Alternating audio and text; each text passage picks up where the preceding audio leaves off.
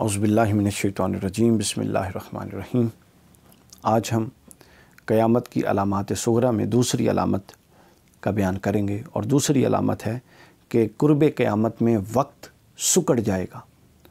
वक्त को यूँ सुकेड़ दिया जाएगा और वक्त की इकाइयाँ अपनी असल हकीकत से बहुत नज़दीक तर और कमतर हो जाएँगी। इसका बयान अदीस सहिया में कसरत से आया है। सही बुखारी हदीस नंबर 989 में यह हदीस मौजूद। और उसके बाद सही मुस्लिम हदीस नंबर दो हज़ार छः सौ बहत्तर में और मुसनद अहमद बिन हम्बल हदीस नंबर आठ हज़ार एक सौ बीस। हज़रत सईदना अबू हुरैर रज़ी अल्लाह तु से मरवी कि हजूल सलाम ने इच्छाद फरमाया कि उस वक्त तक क़्यामत नहीं आएगी जब तक ये चीज़ें वाक़ ना हो जाएँ। उसमें आपने फरमाया व तक सुरत जलाज़लू व यतकार ज़मान के जलज़ले कसरत से आएँगे।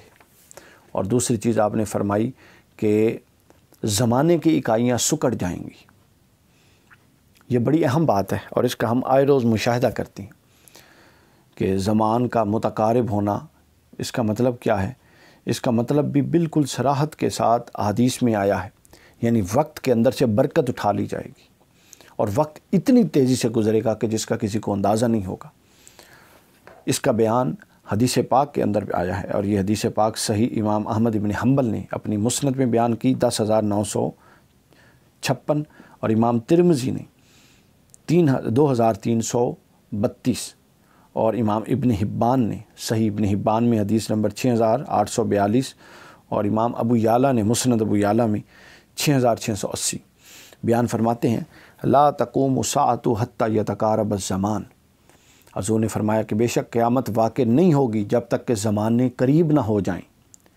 और कितने करीब हो जाएँ? फरमाया, फ़तकून फ़तकून सनतु का शहरी।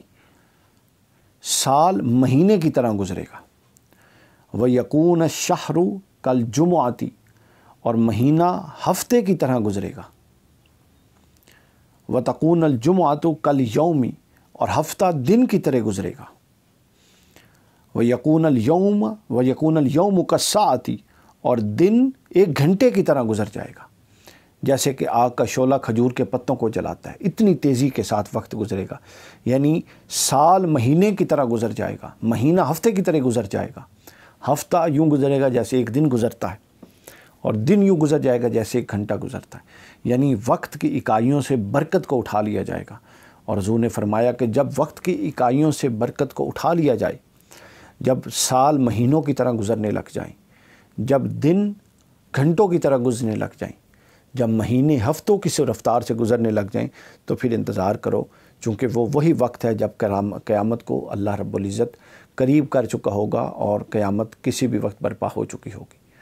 तो ये हम आज मुशाहदा करते हैं कि किस तेज़ी के साथ वक्त गुजरा है। हम आम तौर पे बातचीत में भी इस बात का इजहार करते हैं। जुमा पड़ा, यार अभी तो जुमा पड़ा था, अगले चंद दिनों में फिर जुमा आ गया। और वो एक्चुअली तो वो पूरा टाइम गुजार के सातवें दिन आया होता है, सात दिन, पूरा हफ़्ता गुजार के। लेकिन हमें यूँ लग रहा होता है कि जैसे दो या तीन दिन गुजरे हैं। इतनी तेज़ी से आ रहा है। साल गुजरता है तो पता ही नहीं चलता अगला साल आ गया। हमारे ईज़ वकारब जो दुनिया से गए, यूँ लगता है कि कल की बात है। तो वक्त की इकाइयाँ सुकड़ जाने का जो हजूर नबी अक्रम अलैहि वसल्लम ने इरशाद फरमाया था, हम उसका पूरी सराहत के साथ और पूरी वजात के साथ और पूरे शूर के साथ उसका आ, उसको मुलाहजा कर रहे हैं कि वो अलामत जो अगरचे के अलामत सगरा में से है ये अलामत पूरी शद्दमत के साथ पूरी हो चुकी है। अल्लाह रब्ज़त हमें अपने हाल पे लुत्फ़ करम करने के और अपनी असलाह करने की तोफ़ी अता फ़रमाए। वसलाम वमा अलैना